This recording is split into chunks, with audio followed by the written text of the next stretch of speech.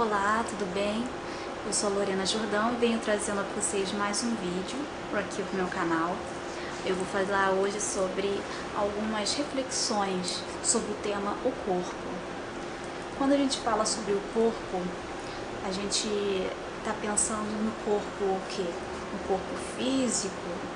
Você está pensando que você é bonita ou não, se é gorda, se é magra?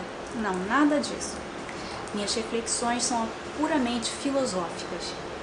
Eu tenho um livro chamado O Corpo, da Christine Greiner, e nele eu tirei algumas partes para falar para vocês e tratar desse corpo no viés filosófico. Então, segundo o livro, o corpo vem do latim, que significa que vem do corpus ou corpóreis, da mesma família de corpulência e incorporar, ou seja, estava ligado ao corpo morto, em oposição à alma.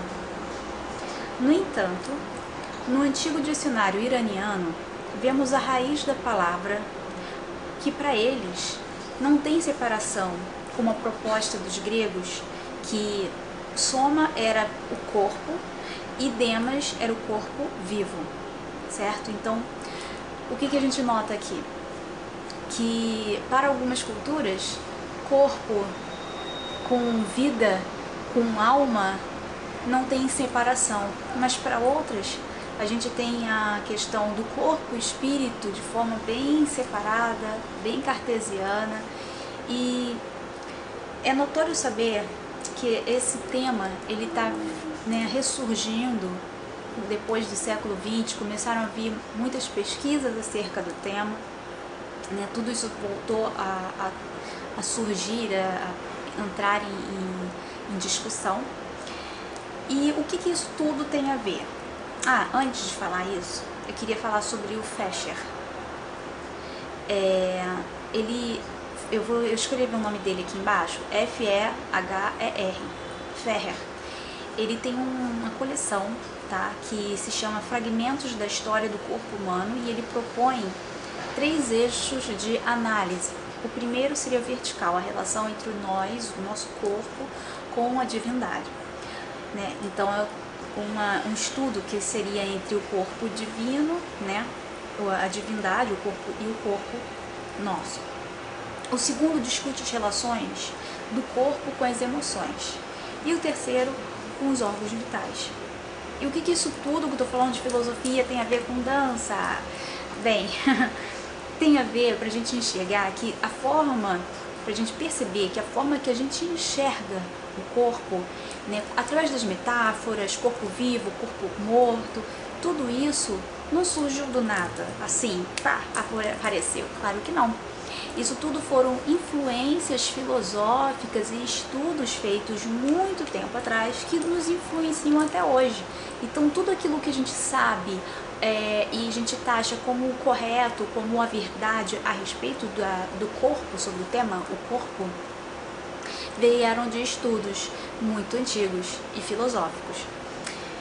Então, é, o que eu quero compartilhar para vocês hoje na verdade, é, filosofar um pouquinho acerca do corpo como uma manifestação, como um, um corpo que ele tenha vida, que ele consiga se expressar. É um corpo que na dança, né, é, ele possa ter potencialidade de expressão na dança. Ele é corpo como manifestação das emoções. Isso levando para para outras linhas, por exemplo, eu posso pegar esse corpo, como é que eu faço, primeiramente, como é que eu faço com que um corpo que nunca dançou, um corpo que está cheio de. que, que tá cheio de, de, de sequelas, um corpo, não só sequelas podem ser físicas ou não, mas emocionais, que carregam em si um andar mais carregado, uma forma de se relacionar, né, o corpo de, de forma difícil, de forma né, mais carregada, como é que eu posso pegar esse corpo e fazer com que ele se manifeste de uma forma diferente? Como é que eu posso fazer como professora de dança, né, com que potencializar aquele corpo para a expressão das suas emoções? que é totalmente pessoal, né? Através de outras, de outros estudos. Então eu pego técnicas de dança criativa, dança contemporânea, dança moderna, até mesmo teatro, que vai somar, né, que vai fazer com que esse corpo vire em um corpo morto, ele tome vida. Então, através de outras técnicas, a gente pode fazer com que esse corpo que está no dia a dia, que muitas vezes a gente está totalmente esquecida, né? A gente esquece que tem até um corpo. Tantas vezes a gente fica assim, com a coluna para baixo, a gente esquece de elevar, né? Por conta do cansaço, por conta do dia a dia. A gente esquece de sorrir, a gente esquece às vezes até de olhar. Como que a gente pode fazer isso? Através de outras técnicas, de outras danças, de outras modalidades e levar isso para um outro campo que pode ser altamente, altamente terapêutico. Colocar essas técnicas de corpo na dança do ventre pode ser altamente terapêutico. Então, é, a gente pode teatralizar né? Pode usar todas essas técnicas e, e teatralizar esse corpo, né? E também pode ser usar pelo campo, pelo viés terapêutico. Na dança do ventre sagrada, né, a gente pode assumir esse corpo, né, com um papel expressivo que carrega consigo a sacralidade. Então ele, além de ser um corpo que vai expressar, né, as emoções internas, ele vai carregar consigo a sacralidade. Ele se torna materialização do divino. Ele é a divindade encarnada. Isso é um papo altamente filosófico, tá?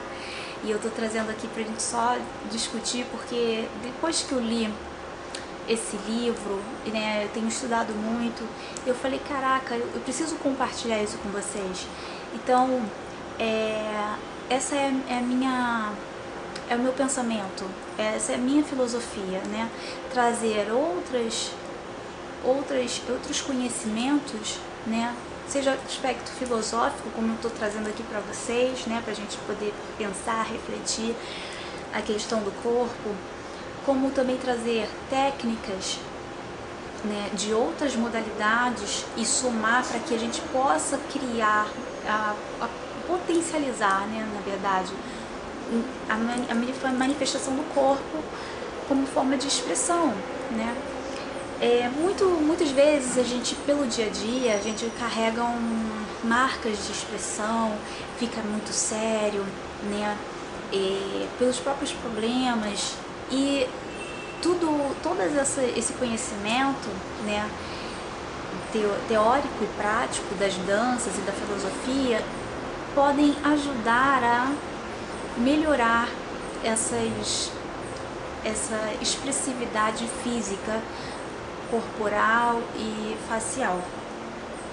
Então, eu tenho alguns, eh, alguns exercícios né, que facilitam a essa questão da expressão principalmente expressão é, física, corporal, né, através de vários exercícios que eu proponho, mas não vai se ficar para esse vídeo não. No próximo vídeo você vai ver como é que eu trabalho né, essa questão da dança de forma prática, tá? Então, se você quiser, se você se interessou, aguarde até o próximo vídeo, ok? Um beijo. Tchau, tchau.